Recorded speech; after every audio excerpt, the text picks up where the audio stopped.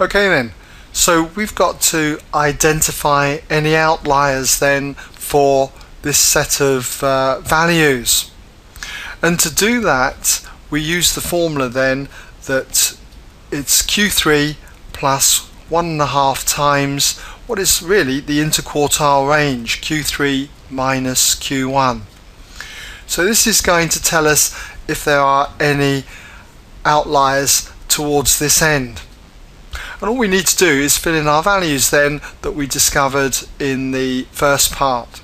So if we fill this in, we've got Q3 254 then plus one and a half times Q3 minus Q1. So that's going to be 254 minus Q1 at 170.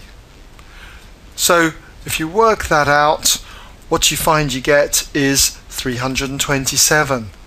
So all we've got to look for is which of these values in this table exceed 327 and you can clearly see it is 390 and 420.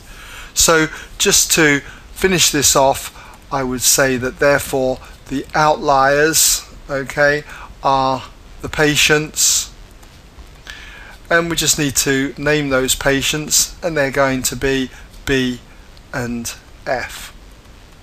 Okay?